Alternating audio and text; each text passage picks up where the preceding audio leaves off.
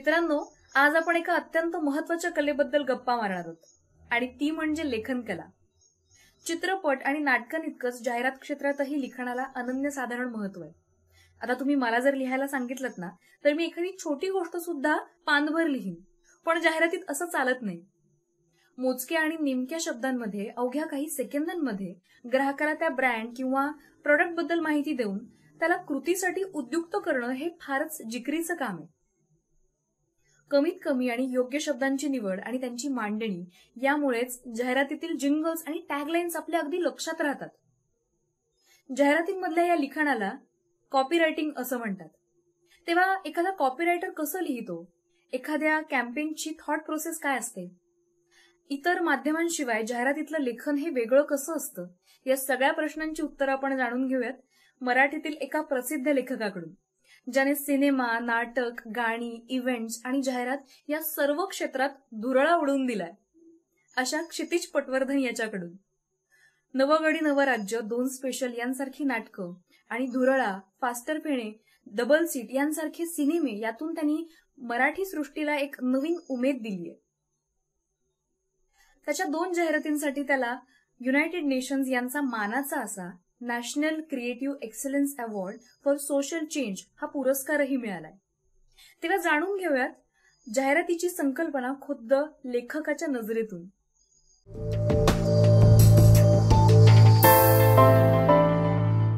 Hello क्षितेश कसा आहेस?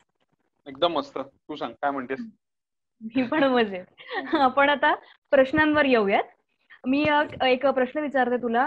Basic प्रश्न आहे बेसिक प्रश्न सुरू करूयात. कॉपीरायटिंग म्हणजे नक्की काय? हे मला सांग जरा.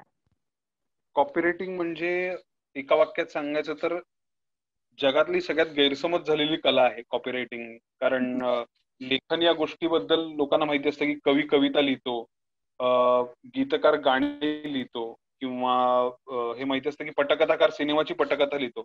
पण कॉपीरायटर बाबा नेमका त्या जाहिरात एजन्सीत जाऊन काय करतो याच्याबद्दल लोकांना बऱ्याच वेळेला माहिती नसतं. तर कॉपीरायटर हा बेसिकली असा माणूस असतो जो एखाद्या सर्व्हिसला किंवा एखाद्या ब्रँडला एखाद्या प्रॉडक्टला त्याचा आवाज देतो. सगळ्यात पहिली गोष्ट. आवाज म्हणजे व्हॉइस ओव्हर नाही त्याचा आवाज म्हणजे त्याची पर्सनॅलिटी तयार करतो तो. आणि सगळ्यात महत्वाचं म्हणजे कॉपीरायटरचा जॉब इंग्लिशमध्ये एका वाक्यात सांगायचं तर is to influence people to take some action म्हणजे आपण ज्या गोष्टीची विक्री करतोय किंवा आपण ज्या गोष्टीची सेवा पुरवतोय त्याच्याबद्दल ग्राहकांनी कुठल्या ना कुठल्या तरी स्वरूपाची ऍक्शन घ्यावी.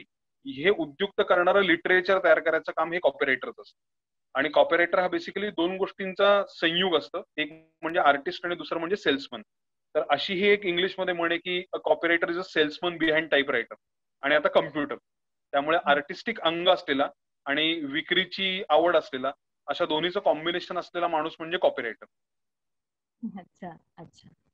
चालेल आपण पुढचा प्रश्न बघूयात. आणि शक्यतो कोणाची कॉपी न करणारा. काही त्यातला हा कारण कॉपी या शब्दाचा अर्थ असा आहे की जाहिरात पूर्वीच्या प्रिंट ऍड्स यायच्या. त्या ऍड्समध्ये मथळा जो असतो म्हणजे आपण टायटल ज्याला म्हणतो ऍडव्हर्टायझिंग ऍडव्हर्टिजमेंटचा त्याच्याखाली जी एक एक पॅराग्राफ येतो किंवा एक परिच्छेद येतो त्याला बॉडी कॉपी असं म्हणतात. म्हणजे त्याला कॉपी असं म्हणतात. तर ती लिहिणारा माणूस म्हणजे कॉपीरायटर अशा पद्धतीचं ती रचना आहे. म्हणून त्याला कॉपीरायटिंग असं म्हणतात. ओके तुझ्या दोन जाहिरातींसाठी तुला United नेशन्सचा national creative excellence award for social change मिळालाय. या दोन्ही जाहिरातींबद्दल आम्हाला जाणून घ्यायला आवडेल. आणि जाहिरात लिहिताना कोणकोणत्या गोष्टींचा विचार केला जातो हे पण आम्हाला सांगशील. या दोन जाहिरातींबद्दल सांगायचं तर ही युनायटेड नेशन्सच्या पॉप्युलेशन फंड नावाच्या एका उपक्रमाची कॉम्पिटिशन होती. दोन हजार सात आणि दोन हजार नऊ या दोन वर्षी मला त्याच्यात बक्षीस मिळालं. आणि बेसिकली ही याच्यासाठी होती की भारतामध्ये स्त्री भ्रूण हत्येचं प्रमाण खूप वाढलं होतं तेव्हा. आणि दर हजार पुरुषांमागे नऊशे सतरा स्त्रिया होत्या. तर या सगळ्या गोष्टींना रोखण्यासाठी काय करता येईल याचं याच्यासाठी या सगळ्या पी एस ए मागवल्या होत्या. त्याला पब्लिक सर्व्हिस ऍडव्हर्टिजमेंट असं म्हणतात. आणि मी लहानपणापासून वेगवेगळ्या माध्यमातून या पी एस ए पाहत आलो होतो. म्हणजे आपण जसं नारळ आणि हेल्मेटची एक जाहिरात पाहिली होती की हेल्मेटवर हातोडा पडतो आणि नारळावर पडतो आणि नारळ फुटतो. आणि मग सांगतात की तुम्ही हेल्मेट घालत जा. किंवा एक किंवा दोन बस हे टोमॅटो त्या बरणीमध्ये टाकून जाहिरात पूर्वी करायची. तर या पीएसए याला पब्लिक सर्व्हिस ऍडव्हर्टिजमेंट म्हणतात. तर त्या ऍड्स ची एक पार्श्वभूमी होती आणि तसं काहीतरी छान मिनिंगफुल करावं असं वाटत होतं. आपण रेग्युलर ब्रँडिंग किंवा रेग्युलर इतर लोकांच्या विक्रीच्या किंवा ब्रँडिंगच्या जाहिराती करताना. आणि मग त्यातनं ही कल्पना आली की स्त्री भ्रूण हत्येसारखा महत्त्वाचा सामाजिक मुद्दा आहे. तर त्याला त्याच्या विरोधी आपण काही मटेरियल करू शकलो जाहिरातीच्या माध्यमातून तर फार मजा येईल. आणि त्यावेळेला सेतूमध्ये मी असताना आमचे आर्ट डिरेक्टर योगेश देशपांडे आणि ऋग्वेद देशपांडे जे सेतूचे क्रिएटिव्ह सगळं बघायचं डिरेक्टर आहेत आता. तर अशी सगळी तरुण उत्साही लोक एकत्र त्यावेळेला होती. आणि त्यावेळेला असं ठरलं की आपण असं काहीतरी करून बघूया. आणि मग पहिले पहिले एक ब्रेनस्टॉर्मिंग नावाचा प्रकार असतो ज्याच्यामध्ये फक्त आपण आयडियाज तयार करत राहतो. तर त्याच्यामध्ये सुशांत धारवडकर नावाचा माझा मित्र आहे जो आता भारतातल्या खूप मोठ्या एजन्सीमध्ये काम करतो. ऍडव्हर्टायझिंगमध्ये त्याचं खूप छान नाव आहे. तर तो आणि मी रोज एकमेकांना एक एक पीएसए करून पाठवायचो. आणि मग ती अत्यंत बाळबोत असायची बऱ्याच वेळेला मी पाठवलेली पण तो मला बऱ्याच वेळेला हँड होल्डिंग करून सांगायचा की हे असं करायला पाहिजे तसं करायला पाहिजे. हे तुला जमू शकेल हे तू करू शकतोस. म्हणून माझं इंग्लिश खूप वाईट होतं. म्हणजे आताही फार ग्रेट असं नाही पण तेव्हा खूप जास्त वाईट होतं. तर मी असं ठरवलं की आपण इंग्लिशच्या नादाला लागल्यापेक्षा आपण आयडियाजच्या नादाला लागूया. आपण आयडिया या गोष्टीवर जास्त कॉन्सन्ट्रेट करूया. आणि त्यातनं मग दोन आयडिया सुचल्या. पहिली आयडिया अशी होती की पाच असे वडील घेऊया ज्यांच्या मुली त्यांची आता आयडेंटिटी आहे. आणि त्या मुली त्यांचा अभिमान आहेत. आणि मुलगी असणे ही फार अभिमानाची गोष्ट आहे तुम्हाला. तर त्याच्यामध्ये आम्ही पंडित जवाहरलाल नेहरू कैफी आझमी दीनानाथ मंगेशकर रविशंकर आणि प्रकाश पदुकोण असे पाच आम्ही वडील घेतले होते. आणि सहावा रकाना त्याचा रिकामा ठेवला होता. आणि तिथे लिहिलं होतं की be a proud father of a girl child तर ती त्या जाहिरात त्या जाहिरातीला त्याचा अवॉर्ड मिळाला. आणि दुसरी एक आमची जाहिरात होती जी फायनलला सिलेक्ट झाली होती. पण त्याला अवॉर्ड नाही मिळालं. ती जाहिरात होती की एक कॅरम बोर्ड ठेवला होता. आणि पूर्णमध्ये आपण जसं पीस पूर्ण लावलेला असतो कॅरमचा तसा तो पीस पूर्ण लावलाय. मध्ये क्वीन आहे. आणि बाजूला सगळ्या सोंगट्या आहेत. आणि त्याच्यावर लिहिलं होतं की every queen needs a cover नाव तर जी जी क्वीन आहे त्या तिला प्रत्येकीला प्रोटेक्ट करणं हा फार गरजेचा भाग आहे. सो आपण तो प्रोटेक्ट केला पाहिजे. आणि या दोन पैकी जी पहिली होती त्याला मग ऑब्व्हियसली अवॉर्ड मिळाला. मुंबईला आम्हाला जर्सन डकुन आणि डॉली ठाकूरच्या हस्ते ते अवॉर्ड मिळालं. खूप अमेझिंग एक्सपिरियन्स होता. एजन्सीत पण खूप अत्यंत सपोर्टिव्ह वातावरण होतं. खूप आनंदाचं वातावरण होतं हे सगळं झाल्यानंतर. आणि मग तिथनं there was no looking back मग आम्ही एक्सप्लोर करत गेलो आयडियाज मग कॉम्पिटिशन येऊ दे न येऊ दे आम्ही स्वतःसाठी खूप वेगवेगळं काम करत गेलो. आणि मग मी त्यानंतर एजन्सी सोडली म्हणजे पुढच्या कामासाठी जाण्यासाठी. आणि दोन हजार नऊ ला मी ऋषिकेश कामेरकर आणि चिन्मय हर्षे. ऋषिकेश कामेरकर आपल्याला सगळ्यांना माहिती खूप जिंगल्स त्यांनी केल्यात खूप गाणी त्यांनी गायलेत म्युझिक केलंय. आणि चिन्मय हर्षे हा भारतातला अतिशय प्रसिद्ध साऊंड डिझायनर आहे. खूप मोठ्या स्टुडिओजमध्ये तो रेकॉर्डिस्ट म्हणून काम तेव्हा करत होता. तर अशा आम्ही तिघांनी मिळून ते बेखबर नावाचं एक गाणं केलं होतं. आणि ते गाणं आम्ही अख्खं तीन साडेतीन मिनिटाचं आमच्या आमच्या पद्धतीने आमच्या आमच्या काय म्हणे वकुबानुसार हिंदीमध्ये तेव्हा केलं होतं. ते माझं पहिलं हिंदी गाणं होतं. आणि त्यालाही दोन हजार नऊचा तो पुरस्कार मिळाला. तेही गाणं बेस्ट सॉन्ग म्हणून त्या जाहिरातीसारखं त्याची निवड झाली आणि मग ते युनायटेड नेशन्सनी त्यांच्या पॉप्युलेशन फंडमध्ये भारताभर सगळीकडे वापरलं. तर अशा त्या दोन ऍड्सचा एक्सपिरियन्स खूप अमेझिंग होता. आणि मजा आली. म्हणजे त्यातनं नवीन नवीन माणसं भेटत गेली शिकत गेलो. आणि बेसिकली स्वतःच्या पलीकडे किंवा कुठल्याही विक्रीच्या पलीकडे सुद्धा प्रत्येक कलाकाराच्या आत जी एक संवेदनशील बाजू दडलेली असते ती कुठेतरी अशा जाहिरातीतनं बाहेर येते आणि त्याची संधी या जाहिरातीत येतात त्यामुळे त्याची मजा येते करायला. हा ग्रेट ग्रेट तू प्रिंट सोबत अनेक कमर्शियल साठीही लिहिलंस सो प्रो कबड्डीच्या सलग दोन वर्ष तू जिंगल्स लिहिल्यास त्याचा अनुभव कसा होता आम्हाला सांग. आणि त्यातच माझे दोन पुढचे प्रश्न आहेत. पहिला म्हणजे एकाच विषयाच्या दोन वेगवेगळ्या जाहिराती लिहिताना किती दडपण असतं आणि त्यात चॅलेंजिंग काय होतं? आणि दुसरा प्रश्न असा आहे की व्हिडिओ माध्यमांसाठी खास करून जिंगल्स कशा लिहिल्या जातात हे आम्हाला सांग. प्रो कबड्डीसाठी मी ऍक्च्युली सलग दोन वर्ष नव्हतं लिहिलं. मी दोन हजार पंधराला लिहिलं आणि मग दोन हजार सतराला लिहिलं. ही संधी मला माझा खूप जवळचा मित्र आहे अमित फाळके. जो मराठी चित्रपट सृष्टीमधलं खूप मोठं नाव आहे. आणि त्यांनी बऱ्याच वेळेला माझं हँड होल्डिंग केलेलं आहे की चांगलं काम जिथे असेल तर तिथे आपण म्हणतो ना की बऱ्याच वेळेला आपण असं असतो की आपल्या ओळखीचं कोणीतरी असतं. किंवा आपला मित्र कोणीतरी असतो आणि आपल्याला माहिती असतं की तो चांगलं काम करतोय. पण हा एक भाग असतो आणि दुसरा असं असतं की जेव्हा एक मोठं काम येतं एखादा मोठा ब्रँड येतो त्यावेळेला त्या व्यक्तीला विचारणं आणि त्याच्याकडनं चांगलं काम काढून घेणं हे अमितनी वेळोवेळी माझ्या बाबतीत केलंय. सो अमितच्या माध्यमातनं हे काम पहिल्यांदा माझ्याकडे आलं. अमित तिथे घेऊन गेला मला अजूनही आठवते आणि स्टार स्पोर्ट्स सारखा मोठा ब्रँड होता आणि त्यांना कबड्डी महाराष्ट्र म्हणजे कबड्डीचं माहेरघर आहे. महाराष्ट्रात एवढे संघ आहेत. तर त्यावेळेला मराठीत त्यांचं काय करायचं? असं एक असा एक प्रश्न होता की मराठीमध्ये काय करूया कबड्डी प्रो कबड्डी लीगसाठी? आणि मग मी जसं असं की चार पाच ऑप्शन्स त्यांना घेऊन गेलो होतो आणि त्यांना खूप आवडले ते ऑप्शन्स खूप चांगली मिटिंग झाली. आणि मग असं झालं की आपण कबड्डीच्या ज्याला आपण म्हणतो ना की कबड्डी हा गेम कशाचा आहे? तर पॉवरचा आहे आणि अजिलिटीचा पण आहे. या दोन गोष्टींचा तो गेम तर या दोन्ही गोष्टी आपण एकत्र करून या दोन्ही गोष्टी एकत्र करून त्याला ग्लॅमर ऍड करून देऊ शकतो का? आपल्या लाईन्स मधनं. असा असा विषय झाला. आणि मग त्यातनं मांडीवर थाप थाप ऐकून लागेल धाप गरजत जाती दिशा आता आमचा प्रताप. श्वासांची दोर लांब हाताची पकड जाम पायांची चपळाई पाहून फुटेल गा पंगा होणारा आज दंगा होणारा आज आले कोणी जरी धुवा करणारा आज. हृदयात एकनाव डोळ्यात भक्तिभाव जिंकून येणारा आज आता आमचाच डाव घे पंगा. अशी त्याची सरळ सोट एक जिंगल वन गो मध्ये तयार झाली. आणि बऱ्याच वेळेला असं होतं ना की जिंगलच्या बाबतीत एक महत्त्वाचा मुद्दा असतो की त्याचा नाद हा फार महत्त्वाचा असतो. मग तुम्ही तिथे अत्यंत कठीण शब्द वापरत नसलेले शब्द किंवा ज्या शब्दांना काही घुमर नाहीये हुंकार नाहीये असे शब्द तुम्ही नाही वापरू शकता. म्हणजे पॉन्ड्सच्या जाहिरातीत आता गुगली उगली उश हा शब्द पॉन्ड्सच्या जाहिरातीला होता. या शब्दाचा अर्थ कोणालाच माहीत नाही आजपर्यंत. पण या शब्दाचा नाद इतका ग्रेट आहे की त्यामुळे तो सेन्स करतो आपल्याला त्यातनं काय म्हणायचंय. तर जिंगल लिहिण्यामध्ये सेन्स करणं फार महत्वाचं असतं. कारण त्या शब्दांच्या नादावर लोक कनेक्ट होत असतात. तर मग ही कॅम्पेन पहिल्यांदा गेली त्याला खूप उत्तम प्रतिसाद मिळाला. अंकुशनी त्यावर शूट केलं. अंकुश त्याचा हिरो होता. ब्रँड अम्बॅसिडर होता. आणि मग दोन वर्षांनी पुन्हा एकदा असं झालं की आता परत काय करायचं? आता ऑलरेडी आपण ते केलं होतं. नवीन गाणं काय करायचं? ऑलरेडी लोकांनाही माहिती तर मग असा विषय आला की महाराष्ट्राला खूप मोठी भक्ती परंपरा आहे. प्रचंड मोठी. आणि वारकरी हे गेली सातशे आठशे वर्ष त्या पंढरीला जात असतात. तर हे सगळे समजा कबड्डीचे वारकरी आहेत अशी आपण कॉन्सेप्ट केली तर काय होईल? असा विचार झाला. आणि मग म्हटलं की आपण कबड्डीचे वारकरी ही थीम घेऊया आणि त्या थीमनी आपण बाकीच्या गोष्टी त्याच्यामध्ये ओवूया. आणि मग मैदान पंढरी आणि आम्ही कबड्डीचे वारकरी अशा लाईनवर आम्ही अख्खं ते पुढचं गाणं रचलं आणि त्यालाही खूप चांगला प्रतिसाद मिळाला. आणि जो घे पंगा हा मुद्दा होता पहिल्या प्रो कबड्डी लीगचा तो आम्ही बदलून यंदा आपलंच राज्य असं केलं. तर ते दोन अर्थाने येतं की कबड्डीत राज्य आपल्यावर येतं एक. आणि दुसरं आमच्यावर राज्य म्हणजे आम्ही रूल करणार या वेळेला. तर अशा दोन्ही प्रोसेसमध्ये एकच ब्रँड एकच एंटिटी पण दोन वेगळ्या पर्स्पेक्टिव्हनी लिहायला मिळाले आणि त्याची फार मजा आली मला असं वाटतं की आणि खूप चांगलं. आणि मला आठवतंय की आयुष्यात पहिल्यांदा मला एखादं काम करण्यासाठी एवढे पैसे मिळाले ज्या पैशाचा मी कधी विचारही केला नव्हता.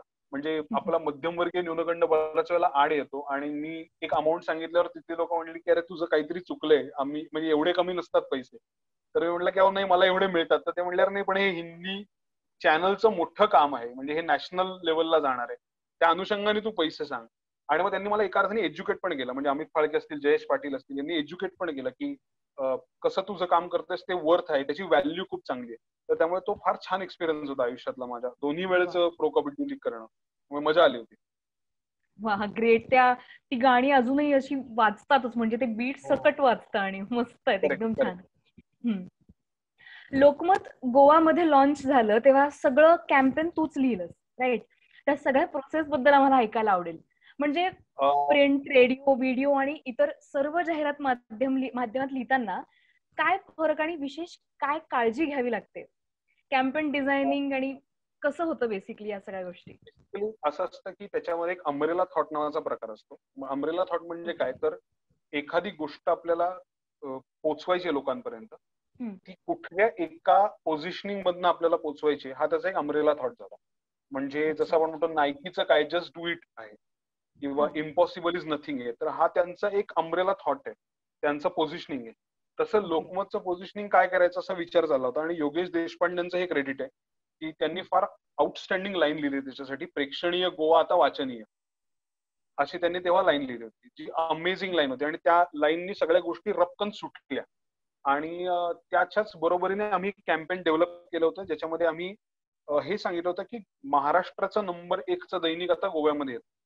मग ते कसं सांगायचं? तर मग आम्ही असं केलं होतं की गोव्यातले जे सहा एलिमेंट्स आहेत ते सहा एलिमेंट्स आम्ही जाऊन फोटोशूट केले दोन दिवसामध्ये.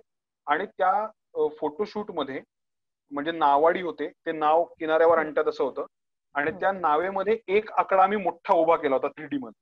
म्हणजे साधारण साठ फुटी सत्तर फुटी पोस्टमध्ये किंवा फुटबॉल खेळणारे दोन जण होते आणि तो अडवतोय पण तिथे एकचा आकडा आहे त्याच्याऐवजी.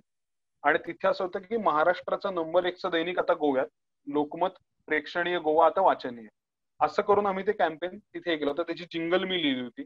आणि त्याची अॅनिमेशन टीव्हीसी पण आम्ही गेली होती. तर मला अजूनही आठवतंय की ती अॅनिमेटेड टीव्हीसी करण्यासाठी मी एकटा जवळपास अख्खी रात्र माझ्या ऑफिसमध्ये थांबलो होतो.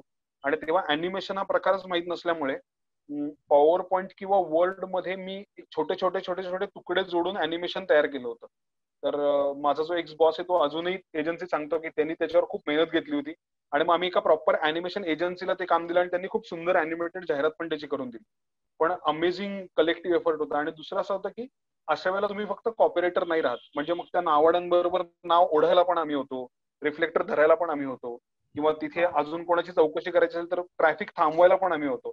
तर तुम्ही कम्प्लिटली त्या कॅम्पेन मध्ये जेव्हा इन असता तेव्हा फार मजा येते. कारण तुम्ही वेगवेगळ्या भूमिका जगू शकता बघू शकता.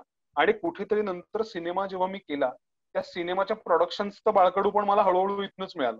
की ऍक्च्युअल सेटवर काय वातावरण असतं? एखादं शूट चाललेलं असताना काय काय काळजी घ्यायला लागते? किती वेळात सगळं आटवायला लागतं?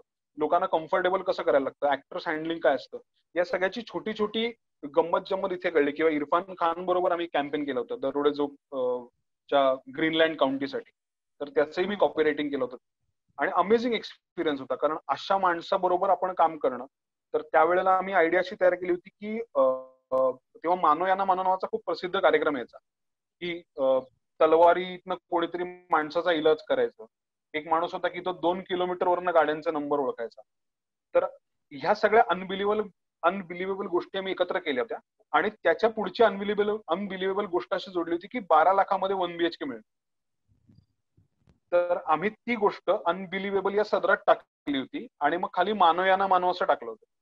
मग नंतर लक्षात आलं की कॉपीराईटचा इश्यू होऊ शकतो आपण मानवयाना मानव वापरू शकत नाही. मग आम्ही अन अनबिलिव्हेबल ट्रूथ अशी त्याला लाईन तयार केली. आणि मग ऍक्च्युली इरफान खान आला त्यांनी शूट केलं आमच्या बरोबर त्यांनी फोटोशूट केलं त्यांनी व्हॉइस ओव्हर केला. आणि अमेझिंग एक्सपिरियन्स होता. मी आयुष्यात विसरू शकत नाही असे एक्सपिरियन्सेस मला ऍडव्हर्टायझिंग मुळे मिळाले. किंवा अजून एक आम्ही फार इंटरेस्टिंग कॅम्पेन केलं होतं पुण्यामध्ये. एस आर के डेव्हलपर्स म्हणून त्यांनी एक स्कीम केली होती ओव्हल नेस्ट नावाची. आणि तेव्हा आयपीएलचं पहिलं वर्ष होतं दोन हजार आठ सालची गोष्ट आहे. तर तेव्हा असं चाललं होतं की या प्लेअरचं ऑप्शन झालं त्या प्लेअरचं ऑप्शन झालं यांनी दहा कोटी रुपये यांनी पण याला वीस कोटी मिळाले याला चार कोटी मिळाले. आणि त्यांनी असं स्कीम तयार केली होती की ज्याच्यामध्ये क्रिकेटचं ग्राउंड होतं. आणि पुण्यात पहिल्यांदा अशी स्कीम होती की ज्याच्यामध्ये क्रिकेटचं ग्राउंड होतं आणि बाजूला बिल्डिंग होती. तर आमच्या आमचे जे एजन्सीतले सिनियर आहेत त्यांनी फार त्यांना अमेझिंग आयडिया दिली की तुम्ही घर नका विकू तुम्ही क्रिकेटचं ग्राउंड पोझिशन करा. मग it is a colony surrounded by cricket ground आणि मग आम्ही अख्ख्या आय आम्ही अख्ख्या आयपीएलच्या ऑप्शनचा फॉर्मॅट करून ते कॅम्पेन केलं की Dhoni five crore Irfan four crore you priceless असं आम्ही करून की आता तुम्ही इथे घर घ्या म्हणजे you will be price it will be priceless तर असं अख्खं ते कॅम्पेन केलं आणि मला सांगायला आवडेल की जवळपास पहिल्या काही दिवसातच त्यांची सगळी घरं सोल्ड आउट झाली त्या कॅम्पेन नंतर. तर त्या कॅम्पेनची मी काय म्हणतात त्याला कॉमेंट म्हणजे कॉमेंट्री लिहिली होती. त्या कॅम्पेनचं मी व्हॉइस ओव्हर्स केले होते. आणि ते कम्प्लिटली आयपीएल डेडिकेटेड कॅम्पेन केलं होतं आम्ही. त्यामुळे त्याचा पण एक्सपिरियन्स फार अमेझिंग होता काम करायचा. तर असं वेगवेगळ्या टप्प्यांवर वेगवेगळ्या प्रॉडक्ट्सबद्दल काम करायला मिळालं. किंवा महाराष्ट्र प्रीमियर लीगचं मी काम केलं होतं. ती देशातली पहिली certified state cricket premier league होती. जसं आयपीएल होतं तशी एमपीएल होती. मग त्याच्या टीम्सची नावं ठरवण्यापासून त्यांचं गाणं तयार करण्यापासून त्यांची अॅनिमेटेड टीव्हीसी करण्यापासून हे सगळं आम्ही केलं होतं आणि त्याची फार अमेझिंग मजा ग्रेट ग्रेट खूप ह्यूज काम होतं तसं म्हणजे बघायला गेलं तर एवढं. सगळ्या टीम्स सगळं मॅनेज करून. खूपच मस्त. मला पुढचा प्रश्न असा आहे की जाहिरातीत भाषा किती महत्वाची असते? तुला असं वाटतं का की आता जाहिरातींमध्ये भाषेची शुद्धता तशी राहिली नाहीये? आणि किंवा हा जो हिंग्लिश किंवा मिंग्लिशचा ट्रेंड आहे तो प्रेक्षकांच्या दृष्टीने गरजेचा आहे का? मला असं वाटतं भाषा महत्त्वाचा मुद्दा आहे पण जाहिरातीची भाषा ही आयडिया आहे. मुळात जाहिराती ही जाहिरात ही आयडिया या भाषेमध्ये बोललं जाणारच माध्यम आहे. त्यामुळे लँग्वेज ही ऑलवेज सेकंडरी येते जाहिरातींमध्ये. म्हणजे असं आहे की मला एखादी उत्तम आयडिया सुचली तर माझ्याकडे भाषा विकसित करायचे दहा लोक आहेत. म्हणजे मी माझ्याकडे खूप चांगले इंग्लिश कॉपरेटर आहेत. हिंदी कॉपीरायटर्स आहेत मराठी आहेत त्यांना मी ते काम देऊ शकतो. अनलेस अँड माझ्याकडे भाषापेक्षा माझ्याकडे इमॅजिनेशन पाहिजे कारण advertising is all about imagination तुम्ही इमॅजिन करू शकत असाल तर तुम्हाला ऍडव्हर्टायझिंगमध्ये प्रचंड स्कोप आहे. कारण बऱ्याच वेळेला काय होतं की आपण भाषेत एवढे अडकतो आपण एवढं आपली म्हणजे आपल्या जाहिराती पण एका काळापर्यंत एवढ्या इंग्रजाळलेल्या होत्या आणि मग पियुष पांडे सारख्या माणसाने त्याच्यामध्ये प्रचंड प्रमाणात हिंदी आणलं.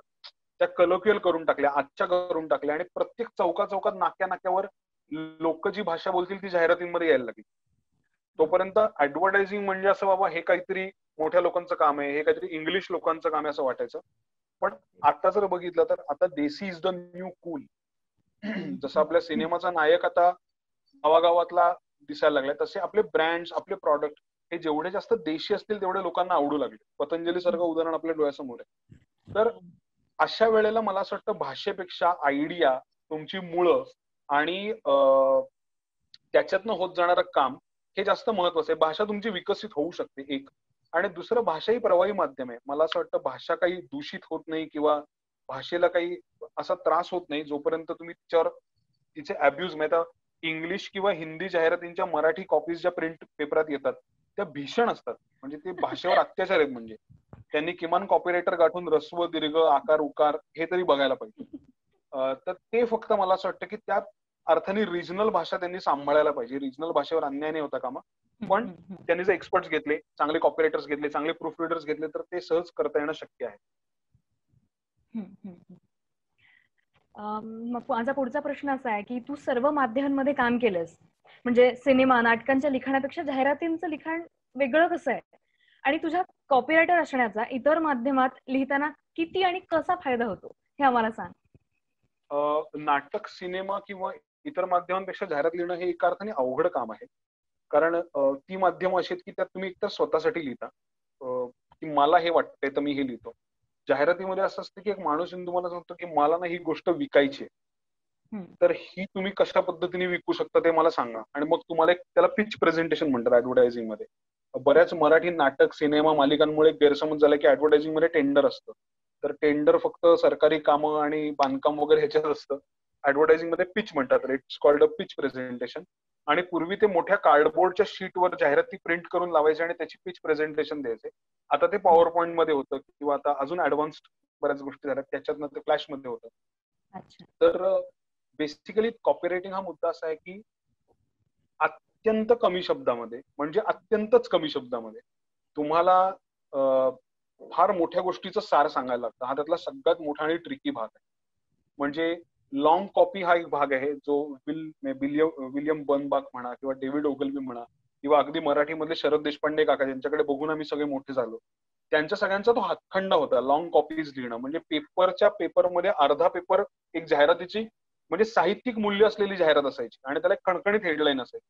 तर तो एक फार गाजलेला पॅटर्न आहे लहान म्हणजे फिफ्टी सिक्स्टीज पासन. तो आपल्या इथे पण तो रुळला आणि मोठा झाला. पण आता जसं हळूहळू आपण डिजिटलकडे जात चाललोय डिजिटल माध्यम मोठं होतंय तेव्हा लोकांना पाच सेकंदामध्ये हुक करणारी जाहिरात लागते दहा सेकंदात हुक करणारी जाहिरात लागते. आणि अशा वेळेला तुमचं एक वाक्य पण नाही तुमचं दोन शब्द एकच शब्द बऱ्याच वेळेला हा किती मोठा इम्पॅक्ट करू शकतात याच्यावर फार गोष्टी अवलंबून असतात. त्यामुळे copywriting is a very very difficult thing आणि बऱ्याच लोकांना असं वाटतं की अरे खूप सोपं आहे. म्हणजे एक टॅगलाईन द्यायला काय लागतंय? कशावर काही लिहिलं हे यमकाला टला ट जोडलं पला प जोडलं तरी ते होतंय. पण ते तसं नाहीये. त्याच्यामागे फिलॉसॉफी खूप मोठी. म्हणजे जसं आपण म्हणतो की घराला घरपण देणारी माणसं ही लाईन इतकी सुंदर आहे इतकी मोठी की ती आज ताग्यात चालू आहे याच्या पुढेही चालू राहील. मराठीच्या बाबतीत आपल्या बोलायचं झालं. किंवा चवीने खाणार त्याला केपर देणार. ही लाईन अनेक हॉटेल्सची लोक आपापल्या हॉटेलमध्ये रंगवून लावून टाकतात. तर त्याला काही कॉपीराईटचं आता काय माहिती कोणी कॉपीराईट दिलाय नाही दिलाय त्यांना परमिशन दिले माहिती पण वापरतात लोक. याचं एक सिंपल रिझन असतं की लोकांना ते इमोशनशी कनेक्ट वाटतं. आणि हे कॉपीरायटरचं कसं मला असं वाटतं की ते फार महत्वाचं आहे की तो कनेक्ट जो आहे ना त्या प्रॉडक्टचा तो सर्वसामान्य माणसाच्या मनात जाऊन उतरून टाकणं हे कॉपीरायटरचं खूप मोठं काम आहे. जसं ओनिडा टीव्हीची एक जाहिरात होती तुला आठवत असेल तर की तो शिंग असलेला एक माणूस यायचा त्या जाहिरातीमध्ये. ओनिडा टीव्ही आणि शिंग असलेला. प्रसिद्ध झाली. आणि त्याची लाईन अशी होती की neighbours envy owners pride. That was their positioning it was a great positioning पण नंतर ते त्या ट्रॅपमध्ये अडकले. त्यांना त्या ट्रॅपच्या बाहेरच पडता येईल. मग त्यांनी खूप जंगजंग पछाडले आणि वेगळ्या कॅम्पेन्स केल्या. किंवा जो बीबीसी करे प्यार वो प्रेस्टिजचे कैसे करेन का? आता ही एवढी आयकॉनिक लाईन आहे. तर ह्या लाईननी अख्खं काय होतं? तुमचं मार्केट कॅप्चर होतं या लाईन किंवा थंडा मतलब कोका कोला सारखी कॅम्पेन प्रसून जोशीने केली. आयकॉनिक कॅम्पेन भारतातली.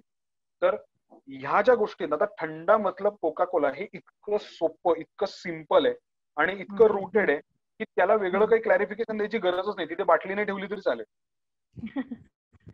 तर अशा पद्धतीने तुम्हाला एखादी गोष्ट एनविजन करायला लागते. जसं मी एक उदाहरण नेहमी सांगतो की एव्हिस नावाची एक कंपनी अमेरिकेमध्ये. सो एव्हिस ही कंपनी कार रेंटल्सची कंपनी होती अमेरिकेमध्ये. आणि ती दोन नंबरला होते. म्हणजे ते त्यांच्या कार रेंटल सर्व्हिसेस मध्ये नंबर दोन ला होते. तर एव्हिस कंपनीने एक कॅम्पेन केलं ज्या कॅम्पेनचं नाव होतं वी ट्राय हार्डर एवढंच त्यांचं कॅम्पेन होतं वी ट्राय हार्डर आणि त्या कॅम्पेन मधनं त्यांनी एवढंच सांगितलं की आम्ही दोन नंबर होत ना म्हणून आमची इच्छा आहे अजून चांगलं काम करायची. म्हणून तुम्हाला आमच्या गाड्यांमध्ये हवा कायम भरलेली मिळेल. म्हणून तुम्हाला आमच्या ट्रेज मधनं ऍश कायम काढलेली मिळेल. म्हणून तुम्हाला आमचं फ्युएलचे स्पॉट्स खूप चांगले मिळतील. म्हणून तुम्हाला आमचं मायलेज चांगलं मिळेल म्हणून तुम्हाला आमची सर्व्हिस स्टेशन क्लीन मिळतील. Because we want to become number one because we want to try harder बस एवढं सिंपल प्लेन आणि जेन्युन कॅम्पेन होतं आणि ते झाले नंबर वन कॅम्पेन झाल्यानंतर. सो असा हा मुद्दा प्रचंड फरक पडतो तुमच्या ओव्हरऑल तुमच्या ओव्हरऑल पोझिशनिंगमध्ये. त्याच्यामध्ये एक फार महत्त्वाचा मुद्दा असा येतो ज्यावर खूप कमी लोक बोलतात की कुठला रंग तुम्ही वापरताय? म्हणजे आता साधी गोष्ट आहे की तुम्ही अमेझॉन आता जगभर गाजला गेलेला प्लॅटफॉर्म आहे. तर अमेझॉनचा A M A Z O एनच्या ए आणि झेडच्या खाली एक लाईन अशी. ती लाईन तो अॅरो असा. तर तो अॅरो दोन गोष्टी डिनोट करतो. एक म्हणजे ए टू झेड सगळं मिळतं. हा त्यातला हिडन अर्थ आहे जो बऱ्याच लोकांना माहीत नाहीये. आणि दुसरं it denote smile because the experience is smiling तर आता ही त्या लोगोच्या मागची गंमत. लँग्वेज काय सांगते? किंवा आय एम लव्हिंग इट हे काय सांगतं आपल्याला? किंवा no one can it just one हे काय सांगतं आपल्याला? किंवा मेलडी हे चॉकलेटी हे काय सांगतं तर ह्या गोष्टींनी ना त्या प्रॉडक्टबद्दल पराकोटीची उत्सुकता तयार होते उत्कंठा तयार होते आणि लोकांना एक अनमिसेबल मेमरी तयार होते की हे मी नाही विसरू शकत. माझ्या डोक्यात आता हा जो हुक बसलाय हा मी विसरू शकत नाही. तो हुक क्रिएट करायचं खूप मोठं काम हे कॉपीरायटर करतो वाव वाव ग्रेट आहे. खूप डिटेल्ड गोष्टींवरती विचार करणं आहे. बापरे. म्हणून आपण बऱ्याच वेळेला बघतो ना की फोटो असे अर्धवटच जाम झालेले असतात स्ट्रेच झालेले असतात. लोगो कुठेतरी तिसरीकडे गेलेला असतो शब्द पडलेले असतात. हे बऱ्याच वेळेला नॅशनल ब्रँड्सच्या याच्यात कधीच दिसत नाही. याचं कारण त्यांचा त्यांच्या फिलॉसॉफीवर लोक त्यांना काय परसिव्ह करतात याच्यावर आणि डिझायनिंग किंवा कॉपरेटिंगवर प्रचंड विश्वास आणि अभ्यास असतो. आणि ते फार महत्वाचं आहे तुमचा ब्रँड लोकांपर्यंत पोहोचवण्यासाठी. वाव ग्रेट ग्रेट छान आहे. पुढचा असा प्रश्न आहे माझा की अशी कोणती कॉपी आहे की ज्याने तू इन्स्पायर झालायस सुरुवातीच्या काळात किंवा आजही? आणि तुझा आवडता कॉपीरायटर कोण आहे? आम्हाला जाणून घ्यायचंय. खूप जण आहेत ज्यांनी मला प्रचंड प्रमाणात इन्फ्लुएन्स केलेला आहे. अलेक पदमसी हा माझा पहिला रोल मॉडेल आहे पहिला आयडॉल आहे. आणि अलेक पदमसीने केलेली जाहिरात सर्फ की खरीदारी मी समजदारी आहे. की लहानपणी मी पाहिलेली जाहिरात आहे किंवा अलेकनी आउटस्टँडिंग कॅम्पेन केला. म्हणजे there is no one like him in India मी त्याला कायम म्हणजे गुरुस्थानी मानतो त्या व्यक्तीला.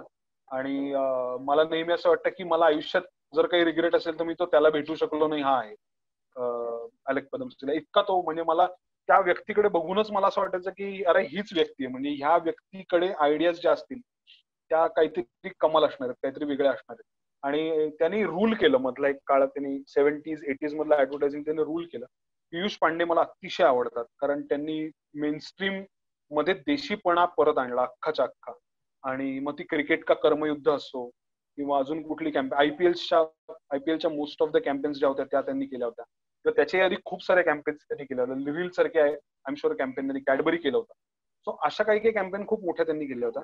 पण हे सगळं एका बाजूला आहे. माझे आपण ज्याला म्हणू की लिखाण कॉपी रायटिंग या गोष्टीला गोष्टीच्या प्रेमात मला जर कोणी पाडलं असेल तर त्याच्यामध्ये एक शरद देशपांडे आहेत. ज्यांच्या एजन्सीत मी नंतर काम करायला गेलो. आणि त्याचं कनेक्शन फार इंटरेस्टिंग आहे. ऍक्च्युली मी पेपर एकदा उघडला होता आणि त्या पेपरात फ्रंट पेजला डीएसकीनची एक जाहिरात होती. आणि त्या जाहिरातीमध्ये असं लिहिलं होतं की हरभजन सिंगनी काल हॅट्रिक केली. हरभजन सिंगनी दोन हजार एक साली हॅट्रिक केली. मी तेव्हा अकरावीत होतो. सो त्या हॅट्रिकच्या इथे ना सचिन त्याला जाऊन असं म्हणाला की ये हो जाएगा तू बॉल बस सही जग पे आणि त्या जाहिरातीमध्ये सही जग या शब्दाला कोट केलं.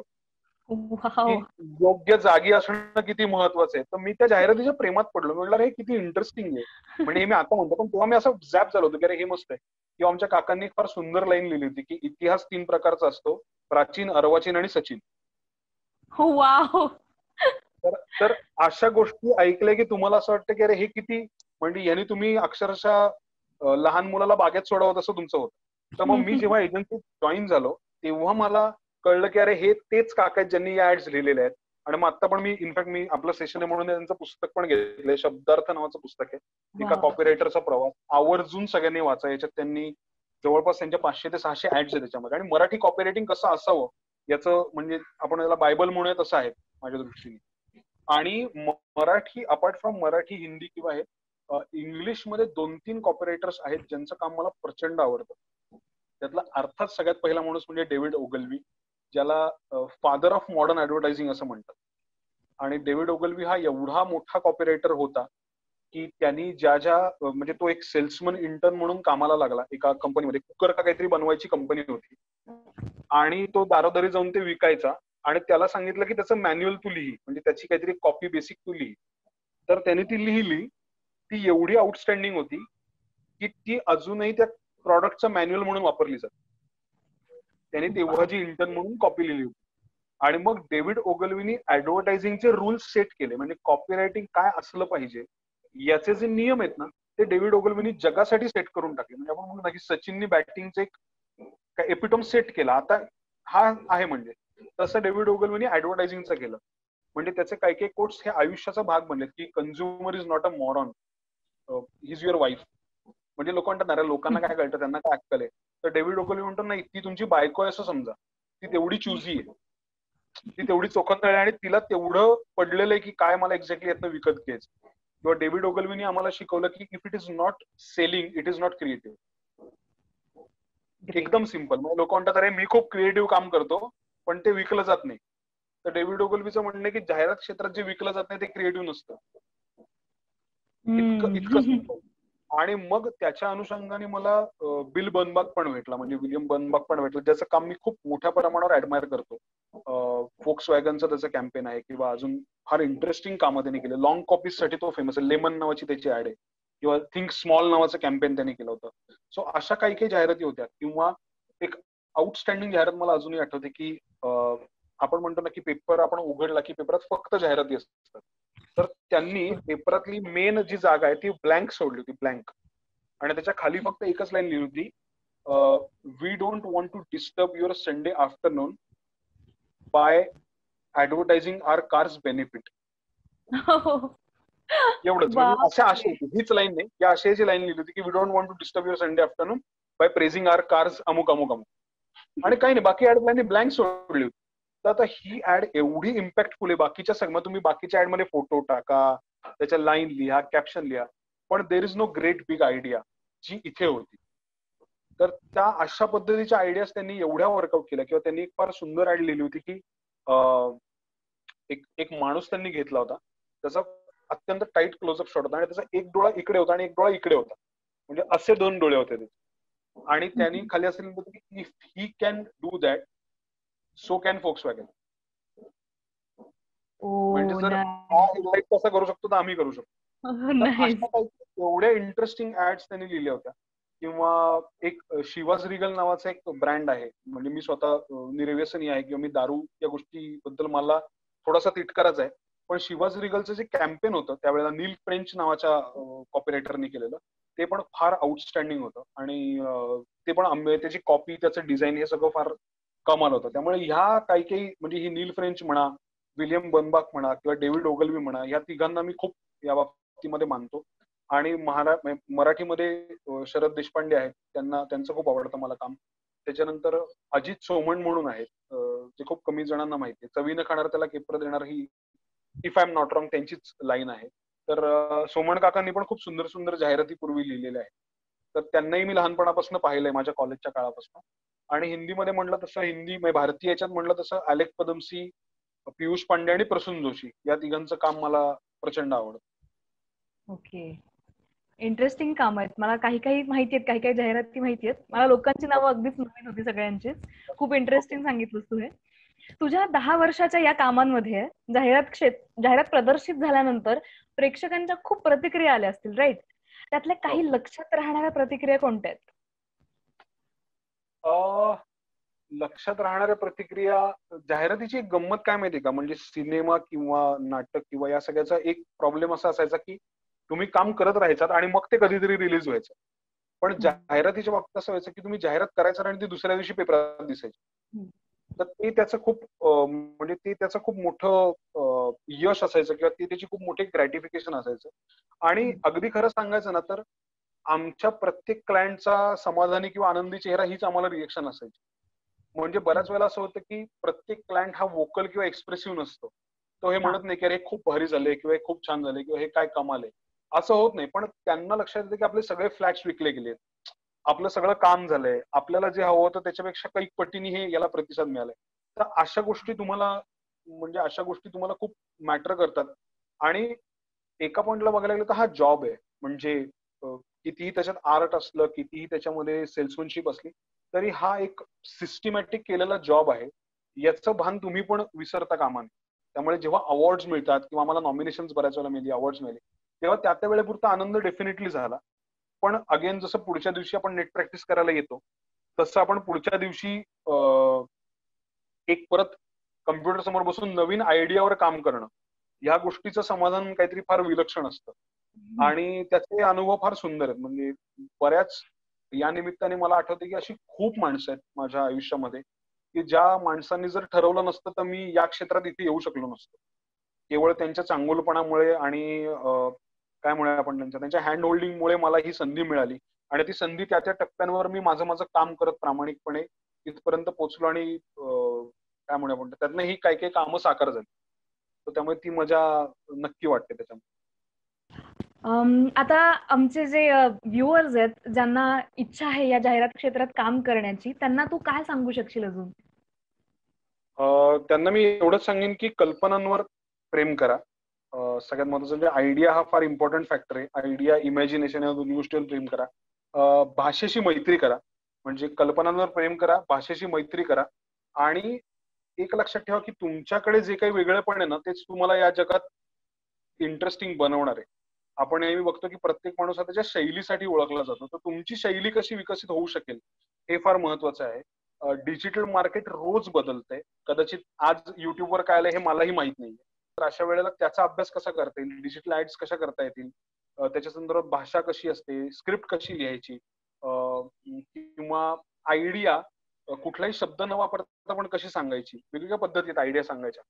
तर अशा गोष्टींवर काम करणं फार गरजेचं आहे.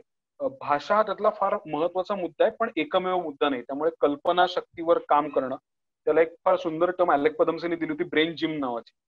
म्हणजे तुम्ही जसं तुम्ही जिम करता रोज तसं तुम्ही ब्रेन जिम म्हणजे तुम्ही एक गोष्ट त्याचं एक लेक्चर मी अटेंड केलं होतं आणि मी I was blown by his brilliance म्हणजे. तर म्हणलं रोज एक तुम्ही वेगळी गोष्ट करून बघा म्हणजे रोज असे रात असताना तर एक दिवस असे घासून बघा पूर्ण वेळ. किंवा एक दिवस डाव्या पायाचा मोजा उजव्या पायात घालून बघा. बेसिकली तुम्ही तुमच्या मनाला किंवा तुमच्या मेंदूला काहीतरी वेगळं करायची सवय लावा. रोजचं रोजचं काही ना काहीतरी एक वेगळा एक्सरसाइज करायची सवय लावा. त्यातनं तुमचं out of the box thinking develop होत जातं. सगळ्यात गंमत काय होतं ऍडव्हर्टायझिंगमध्ये की त्याला क्लटर असं शब्द आहे. क्लटर म्हणजे काय तर एकाच साच्याचं सगळं तयार होतं. म्हणजे आता आपण बघतो की एकाच टाईपच्या ऍड तयार होतात एकाच टाईपचे प्रॉडक्ट्स विकले जातात एकाच टाईपचं ह्युमर असतो इमोशनॅलिटी असते. तर अशा वेळेला ते डिक्लटर कसं करायचं हा फार मोठा प्रश्न असतो. त्यातनं बाहेर कसं पडायचं? तर ते सुद्धा कॉपरेटरचं काम आहे की एखाद्या गोष्टीला छेद देऊन नव्याच पद्धतीने ती गोष्ट लोकांसमोर प्रेझेंट करणं हा पण कॉपरेटरचा खूप मोठा टास्क आहे. तेही त्याला करायला लागतं. तर जोपर्यंत तुमच्या तुमची कल्पना शक्ती जिवंत आहे जोपर्यंत तुम्हाला तुमचं भाषेवर प्रेम आहे किंवा भाषेशी मैत्री आहे आणि जोपर्यंत तुम्हाला असं वाटते की मी असं काहीतरी लिहू शकतो ज्याने लोक इन्फ्लुएन्स होऊ शकतात आणि झाले तर मला आवडतील तर काय ऍडव्हर्टायझिंग तुमच्यासाठी खुल आहे? Kshitij thank you so much जाहिरातीवर एक सिरीज करतोय. म्हणल्यावर लिखाणावर एक भाग होणं गरजेचं होतंच. पण तुझ्यासारख्या हरहुन्नरी कलाकाराशिवाय दुसरं कुणीच यासाठी योग्य असूच शकत नाही. लेखन हे क्षेत्र फार कमी जण प्रोफेशन म्हणून निवडतात. पण तू ते निवडलंस आणि ते फार मनापासून तळमळीने करतोयस याचा एक मराठी प्रेक्षक म्हणून आम्हाला सर्वांनाच तुझा अभिमान वाटतो. बरं तू फक्त स्वतःपुरतं काम करून थांबला नाहीयेस तर इतर लेखकांनाही मदत करतोयस हे फारच कौतुकास्पद आहे. मित्रांनो क्षितिज गेल्या चार महिन्यांपासून युट्यूबवर एक रायटर्स फर्स्ट नावाचं खास लेखनासाठी केलेलं चॅनल चालवतोय. लेखकाने लेखनासाठी केलेलं किमान भारतातलं तरी हे एक पहिलं चॅनल आहे. त्यावरच्या मुलाखती तुम्ही पाहिल्या नसतील तर त्या आवर्जून पहा. खास करून ज्यांना या क्षेत्रात यायचंय त्यांनी तर ते अजिबातच चुकवू नका. क्षितेश पुन्हा एकदा तुझे खूप आभार आणि तुझ्या पुढच्या प्रोजेक्टसाठी तुला खूप खूप शुभेच्छा. तेव्हा तुम्हाला सर्वांना हा आमचा एपिसोड कसा वाटला हे आम्हाला कमेंट्समधनं नक्की कळवा. या आधीचे एपिसोड्स जर तुम्ही पाहिले नसतील तर तेही आवर्जून पहा आणि त्याच्या प्रतिक्रिया आम्हाला कळवा. भेटूया पुढच्या भागात एका नवीन ब्रँड आणि त्याच्या जाहिरातीसह. तोपर्यंत आपलं नेहमीच सुकृत क्रिएशन्सच्या फेसबुक इंस्टाग्राम आणि युट्यूब पेजला लाईक शेअर आणि सबस्क्राईब करा. टाटा!